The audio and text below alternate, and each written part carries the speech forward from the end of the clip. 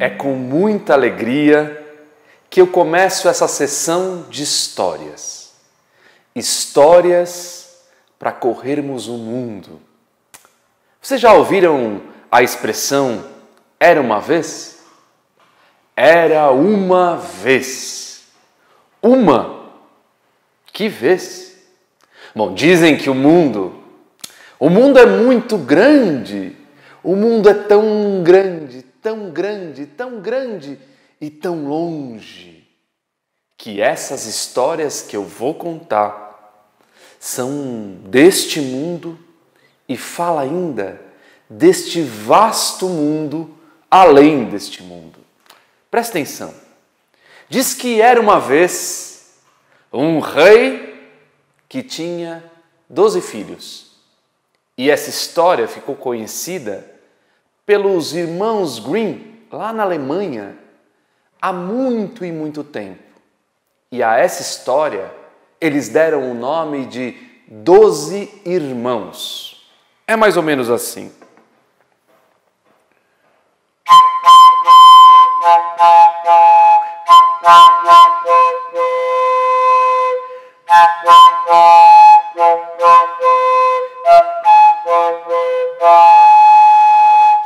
Diz que era uma vez um rei que tinha doze filhos.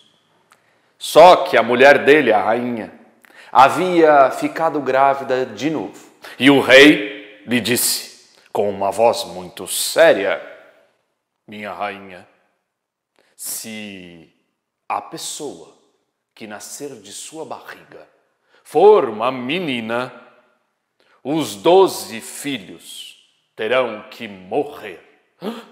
A rainha ficou assustada, como assim? Sim, porque eu quero que ela tenha todo este vasto reino para ela. A rainha ficou ainda mais apreensiva. E tem mais. Já mandei construir doze caixõezinhos e guardar no salão nobre, com a porta bem trancada para se caso nascer uma menina, nós já teremos o destino dos outros doze. E ele se foi. E a rainha ficou ali, apreensiva. Andava de um lado para o outro, até que um menor, um menino menor de todos, o filho caçula, de nome Benjamim, viu a mãe ali, no canto, triste entristecida e foi perguntar: Mamãe, mamãe, por que a senhora está tão triste? A rainha hesitou, hesitou um pouco, é, é, fez que não nada estava acontecendo, mas até que não teve como esconder, foi logo dizendo a história. E levou o menino Benjamim, depois de muita insistência, até aquela sala onde estavam guardados os doze caixõezinhos, ainda com aparas e almofadinhas. E quando ela abriu a porta, e Benjamim viu aquilo, a rainha começou a chorar, mas ela teve uma ideia. Ela disse assim: Meu filho, meu filho, eu vou lhe pedir uma coisa. Você e seus irmãos fujam para a floresta e fiquem no alto carvalho que há ali quando a sua irmã nascer, se for mulher, eu erguerei uma, uma bandeira vermelha, cor de sangue, e vocês devem fugir para o bosque e encontrar algum amparo, algum acolhimento, mas bem longe daqui. Agora, se for um menino, a mãe vai erguer uma, uma bandeira branca e vocês vão poder retornar ao palácio. E foi assim e foi assim exatamente que eles agiram.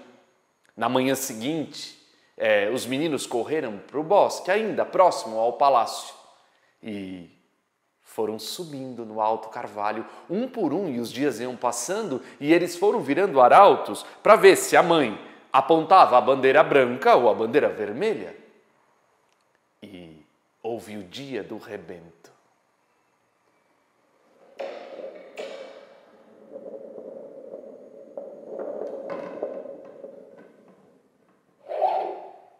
A bandeira vermelha, cor de sangue. Ah, neste dia era Benjamim que estava lá em cima do carvalho. Ele foi logo descendo, avisou os irmãos e eles, com muita raiva, disseram: Tudo bem, nós vamos fugir para o bosque, mas há uma coisa: se nós encontrarmos alguma mulher na nossa vida, vamos maltratá-la em nome da nossa vingança. E foram para o bosque. A mãe deu à luz uma linda menina e uma menina tão doce, com os lábios vermelhos, olhos pretos, pele pele morena. Mas os meninos, os meninos foram entrando para o bosque, fugindo do pai que podia condená-los à morte. E eles avistaram uma casinha, uma casinha com a porta e janela aberta, uma casinha encantada. E eles foram entrando, encantada como eles sabiam que era, porque a chaminé saía fumaça sem fogo dentro. E eles ficaram lá dentro e se apossaram da casa. Onze dos mais velhos saíam diariamente para plantar, caçar, é, colher, e Benjamim, o menor, ficava ali nos afazeres da casa. Isso foram dias semanas, meses, anos. Dez anos se passaram. Enquanto isso, lá no palácio, a menina de boca vermelha, olhos pretos e pele morena foi crescendo, crescendo e já tinha dez anos. E um dia, porque havia tido uma grande limpeza no palácio, ela caminhando pelos varais do reino, viu muitas camisas e foi contando. Uma, duas, onze, doze. E eram camisas pequenas, não eram do tamanho do pai. Então ela foi perguntar à mãe, à rainha: Mamãe, que são aquelas doze camisas no varal? Minha filha, agora acho que você já tem idade suficiente para saber. Você teve doze irmãos e foi lhe contando toda a história. A menina, a menina soltava uma lágrima e, vez por outra, pingava no chão. A mãe, para realizar ainda mais a história que lhe contara, foi acompanhando a menina até aquele salão onde eram guardados os doze caixõezinhos, ainda à época caixões com aparas e uma almofadinha. E quando a menina viu aquilo, ela enxugou as lágrimas e disse à mãe: Eu vou. Eu vou até o bosque, até a floresta, encontrar os meus irmãos. Eu não volto. Eu não volto enquanto não encontrar os meus irmãos. A mãe teve aquele misto de alegria, porque agora poderia ter a esperança de reencontrar os filhos e uma apreensão, porque não sabia qual seria a reação do rei e tampouco qual seria a reação dos filhos, porque há dez anos não os via. E lá foi a menina. A menina foi entrando no bosque, foi ultrapassando obstáculos até que encontrou uma casinha, uma casinha com chaminé que saíam fumaças. E a essa altura, Lá dentro só estava o pequeno, o caçula. Agora não tão pequeno, porque dez anos havia se passado. Benjamim. A menina bateu na porta porque os onze, os onze estavam caçando, colhendo e plantando. E a porta se abriu. Benjamim olhou aquela menina, aquela menina de dez anos, com a boca vermelha, olhos pretos, pele morena. E deixou-a entrar e eles conversaram, conversaram, até que a menina contou a sua história. E quando Benjamin foi ouvindo a história, emocionado, foi dizendo: Você é minha irmã! Você é minha irmã! E eles se abraçaram, se beijaram, mas depois ele se recuou e disse: Não, mas nós temos uma promessa. Nós precisamos maltratar e até matar uma menina, uma mulher, em nome da nossa vingança. Quando os meus irmãos chegarem, os nossos irmãos chegarem, eles não vão hesitar. E a menina disse: Tudo bem, Eu assumo. Podem me matar. Não, de jeito nenhum. E, escondendo-a embaixo de uma cuba, esperou os irmãos regressarem. E no final da tarde, quando o sol já havia caído, os irmãos foram regressando, regressando, regressando, um por um, e foram entrando na casa, e Benjamin já tinha preparado o jantar, umas batatas cozidas em cima da mesa, e ele foi assim, descontraído, dizendo: Meus irmãos, eu não sei se vocês têm novidades, mas eu tenho uma novidade para contar para vocês, eu não sei vocês, mas eu tenho e tal. Fala logo, Benjamin, o que é? Mas antes, vocês têm que me prometer uma coisa. É, se vocês virem uma mulher, vocês não podem maltratá-la. E eles, tá bom, Benjamin, tá bom, a gente promete, fala logo que houve e tirando a irmã debaixo da cuba, foi revelando toda a história. E os meninos, muito emocionados, agora homens, foram se abraçando e uma alegria muito grande contagiou aqueles três irmãos agora. E a menina e Benjamim, a partir daquele dia, passaram a cuidar da casa. Enquanto os irmãos irão caçar, pescar, colher, Acontece que numa tarde dessas, quando o sol já havia caído, hum, os irmãos foram voltando e a menina, a princesa, tinha feito um manjar. E para agradar os irmãos, ela estava bem ali na frente da casa encantada, porque uma coisa eu não contei a vocês. Na frente da casa encantada havia também um jardim encantado e misteriosamente haviam nascido doze lírios. E justo nesse momento, enquanto os irmãos regressavam, a princesa, para enfeitar a mesa do jantar, estava colhendo o lírio. colhendo o lírio. E quando ela estava já tirando o décimo segundo lírio, enquanto os irmãos vinham, uma coisa fantasmática aconteceu. Acreditem. Um temporal, um céu fechando e a casinha desapareceu. Os irmãos transformaram-se em corvos e foram voando os doze, inclusive Benjamim. E agora sem a casinha, sem os irmãos.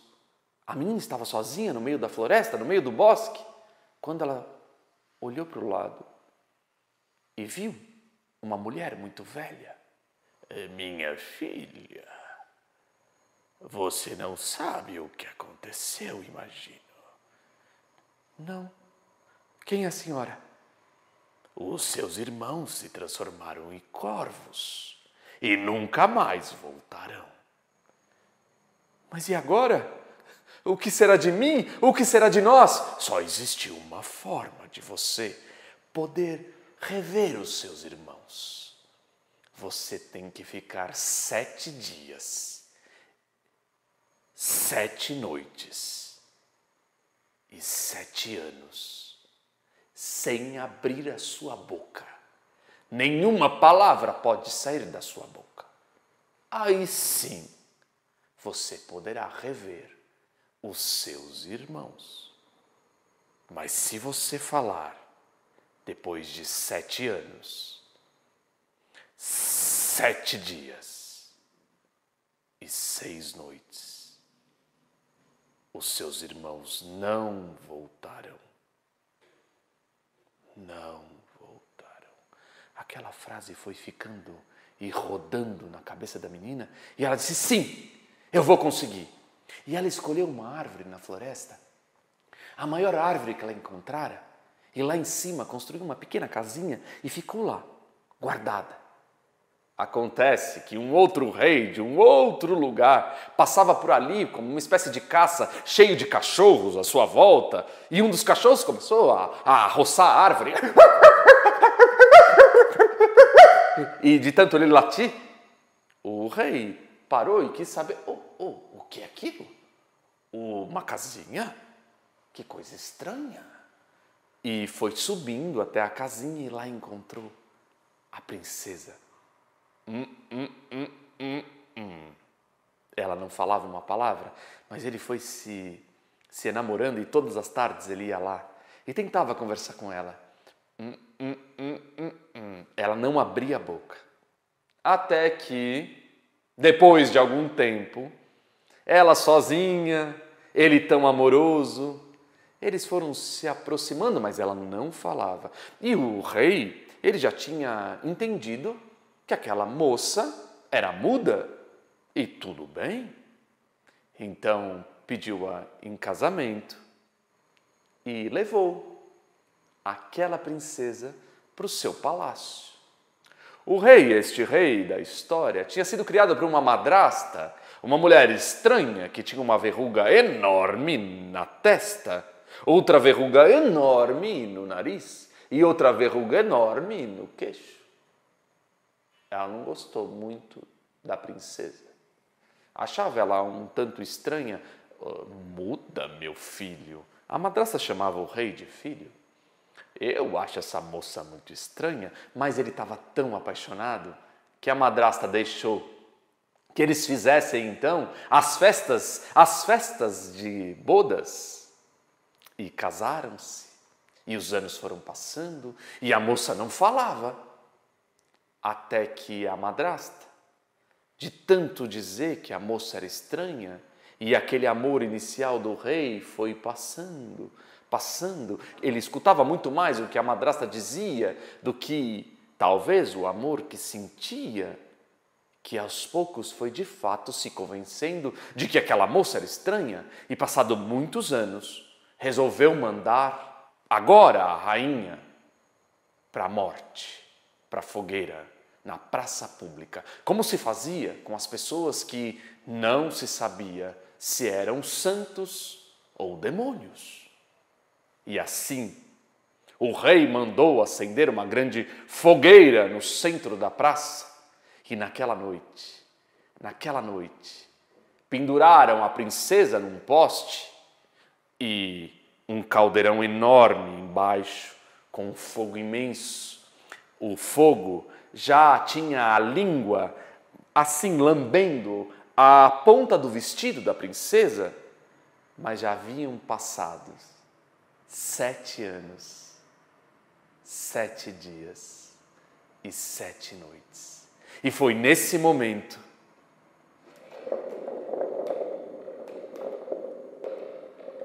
que o céu teve um clarão e de lá vinham doze corvos e encarnaram-se humanos. E os meninos tiraram a princesa daquele poste. O rei ali na janela não entendia muito bem, a madrasta então gritava, achando aquilo um absurdo. E tiraram a menina do poste e se abraçaram e puderam contar ao rei toda a história deles. E assim, o rei compreendeu a história da rainha, agora a rainha, sua amada, que pôde também contar-lhe coisas tão importantes. Ela o perdoou e eles, segundo disseram os irmãos Green, lá na recolha desse conto, se amaram por muitos e muitos anos e quiseram um reino livre, livre, livre para quem quisesse nascer. E se essas são histórias para correr o mundo, o mundo começa onde? O mundo é o mundo dos outros ou o nosso mundo? há um poema que diz mais ou menos assim: Para além da curva da estrada, talvez haja um poço e talvez um castelo, não sei nem pergunto, enquanto vou na estrada antes da curva. De nada me serviria estar olhando para lá e para aquilo que não vejo. Importemo-nos apenas com o lugar onde estamos. Há beleza bastante em estar aqui e não noutra parte qualquer. Olha, se há alguém para além da curva da estrada, Essa que é a estrada para eles. Por hora só sabemos que lá não estamos. Aqui há só a estrada antes da curva, e antes da curva a estrada sem curva nenhuma. Fernando Pessoa, Alberto Caeiro. Essa história que eu vou contar agora chama-se A Princesa Sapa e foi recolhida pela grande folclorista, grande estudiosa da cultura popular brasileira, a dona Ruth Guimarães, saudosa dona Ruth. Dona Ruth conheceu profundamente a alma do Vale do Paraíba, aqui no sudeste do, do, do país, é, ficando aqui no estado de São Paulo. Dona Ruth, a partir daí, recolheu histórias de Pedro Malazartes e histórias da tradição. A princesa Sapa também eu pude ouvir da voz de outros narradores e outras narradoras andando por esse país. Então eu espero que vocês me acompanhem e que a gente se acompanhe na jornada desta princesa Sapa. Diz que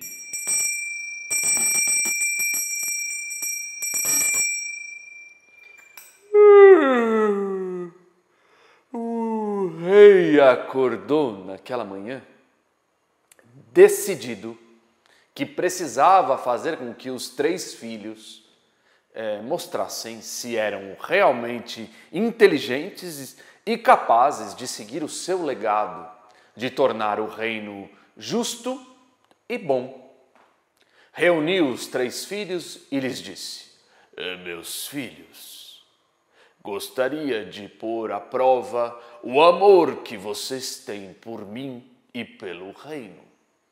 Vou pedir a vocês que façam uma viagem, uma grande jornada e encontrem a coisa mais preciosa deste mundo e me tragam.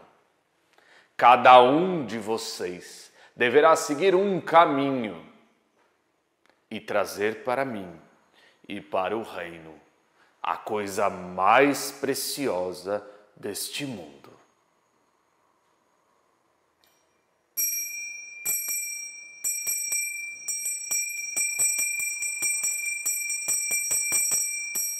O rei se recolheu e os três ficaram pensando o que seria buscar a coisa mais preciosa. Conversaram entre si e o rei retornou Sim, vendo aquela discussão, ele lhes disse: Alguém de vocês gostaria da minha bênção?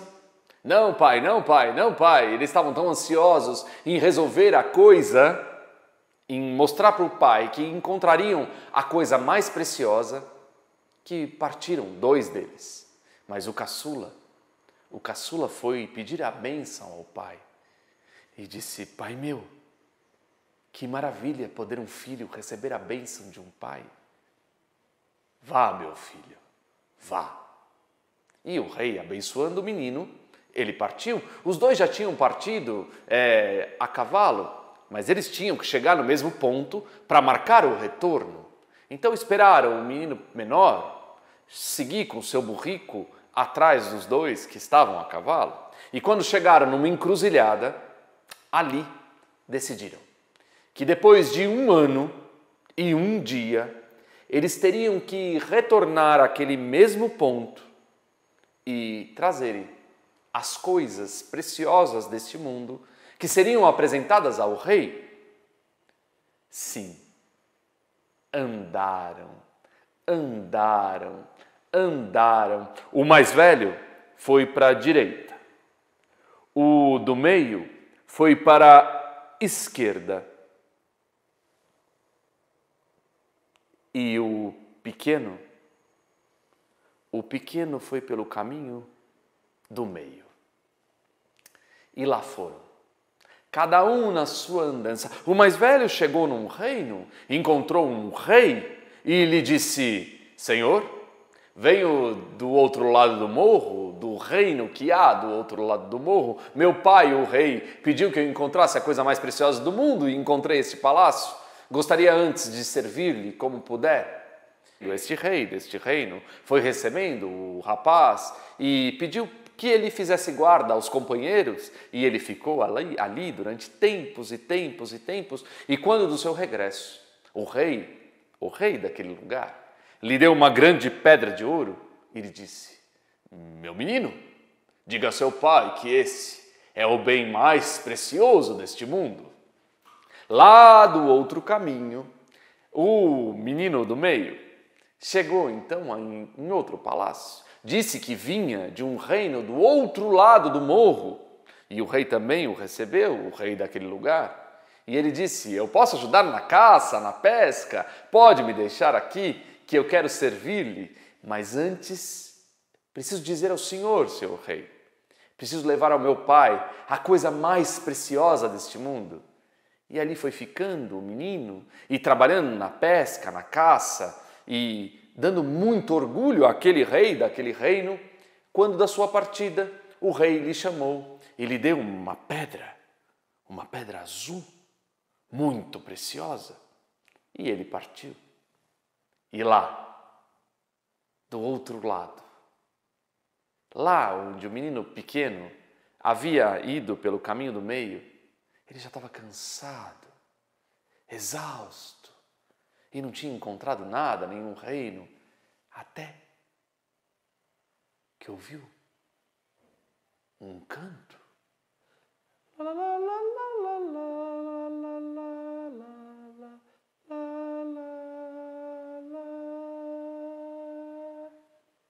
Aquela voz vinha de uma lagoa.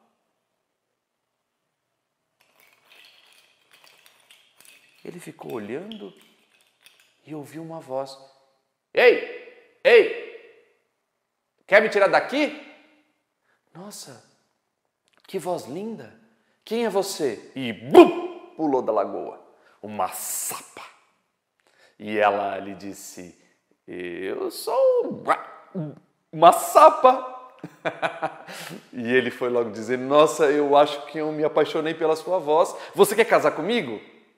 Eu casar com você? mas eu sou uma sapa feia. E ela era realmente uma sapa muito feia. Mas ele lhe disse: Você quer casar comigo? E ela disse: Ué, se você está dizendo, eu não quero voltar atrás. É claro que eu quero casar com você, é, mas antes eu preciso voltar ao reino e entregar para o meu pai a coisa mais preciosa deste mundo e eu ainda não encontrei. Foi no que a sapa pulou para dentro da lagoa e de lá de dentro pum, saiu com uma caixinha, uma caixinha travada e lhe deu aquela caixinha.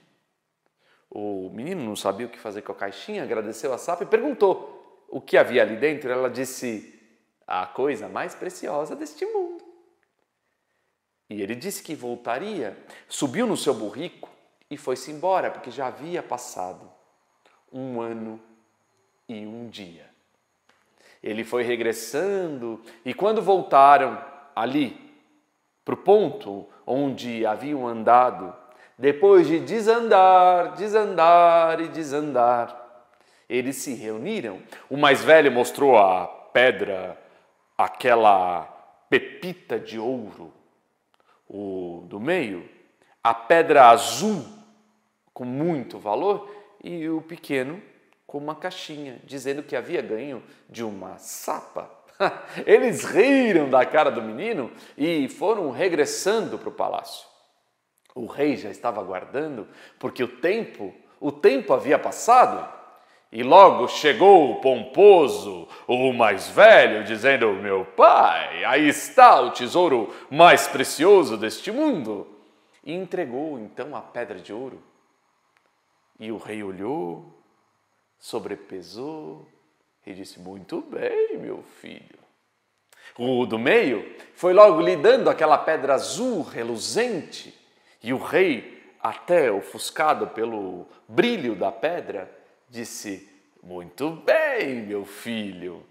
E o mais novo, ainda reticente, foi levando a caixinha para o rei, e que o rei, num único golpe,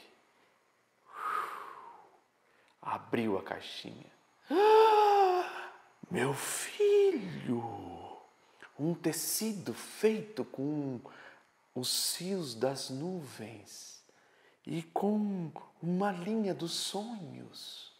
Como que você conseguiu isso, meu filho? E numa alegria transbordante, foi logo dizendo: Meus filhos, estou com muita dúvida de saber quem trouxe o tesouro mais precioso, então vou dar-lhe mais uma missão. Peço-lhes que saiam pelo mundo e tragam-me a coisa mais assustadora que conseguirem. A coisa mais assustadora que conseguirem. Ah, o mais velho foi atrás de uma estrada, a estrada da direita. O do meio, a estrada da esquerda. E o caçula, a estrada do meio.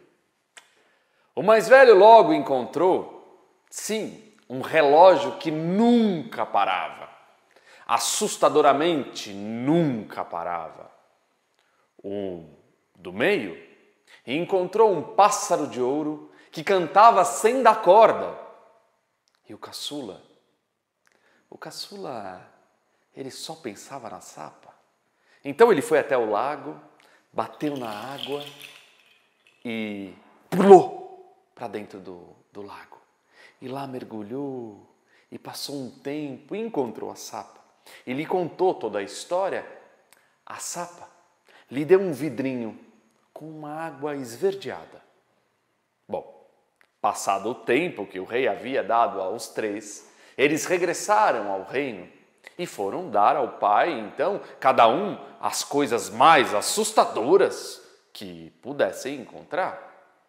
Um relógio que nunca parava, um, um pássaro de ouro que cantava sem dar corda o rei ficou ali bastante, bastante curioso com aquelas coisas. Mas quando o menino lhe deu o vidrinho com a água verde, o rei destapou e aquela água foi evaporando em direção à pele do rei, ao cabelo grisalho do rei, que foi devolvendo a ele uma espécie de vigor de juventude. Ele continuava sendo um homem velho, mas agora, possuído por um vigor de juventude, ele teve dúvidas. Qual foi a coisa mais assustadora que ele tinha conhecido? E na dúvida, pediu que agora, na última prova, cada um pudesse trazer a sua noiva para o palácio. Tragam a noiva de vocês, e daí então entenderei quem pode seguir este reino. E assim foi. O mais velho, agora sim, para o caminho da direita, o do meio, para o caminho da esquerda, e o mais novo, para o caminho do meio. Bom, cada um trouxe a sua noiva, mas o menor o menor, o menor foi contar a sapa, mergulhou no lago e a sapa teve resistência. O, o seu pai os seus irmãos não vão entender. Você tem uma noiva sapa. Vamos comigo. E colocando a sapa no seu burrico, já regressando àquele ponto onde eles desandavam para chegar no palácio, a sapa caía, levantava, pulava de novo no burrico e os irmãos vendo aquela cena, aquela cena muito engraçada, começaram a dar risada do menino e juntos foram regressando para o palácio. E o rei, o rei resolveu dar um banquete para as três noivas, inclusive para a sapa. Ah, meu pai, uma sapa na mesa, diziam os mais velhos. Sim, se este é o desejo de seu irmão, uma sapa será a sua noiva. E a sapa sentada na cadeira sentiu uma coragem, uma coragem imensa naquele banquete e foi pulando na mesa, comendo, comendo um pouco de cada coisa, um pouco de salgado, um pouco de doce. E o menino, o menino já estava assim um pouco um pouco envergonhado, sabe quando se fica ruborizado, assim, com a bochecha vermelha, o corpo um pouco quente, as orelhas vão ficando esquentadas? Não sei se vocês já, já passaram por isso. O menino ficou assim, mas ficou seguro porque ele sentia uma coisa muito forte por aquela sapa. Foi quando, foi quando o rei lhe disse: Meu filho, que bom que você, que você cuida e aceita uma sapa na sua vida. Meu pai, eu estou profundamente apaixonado por ela. E pegando a sapa, o menino deu um, um beijo na sapa. E quando aquilo se deu, a sapa, a sapa foi se transformando pelo beijo do desencanto numa mulher, numa mulher linda, numa mulher magnífica. E a partir daquele dia, o rei agora tinha um filho rei, um filho que conhecia o mais precioso tesouro do universo, o mais precioso de todos os tesouros do universo.